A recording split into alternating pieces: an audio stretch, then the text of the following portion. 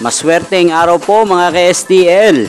Narito na po ang resulta ng STL Quezon para sa araw na to. Naway ang mga napayan niyo pong mga numero kanina ay manalo nawa ngayong araw na to. Tutok lang po, baka numero nyo na po ang manalo. Para po sa STL Quezon.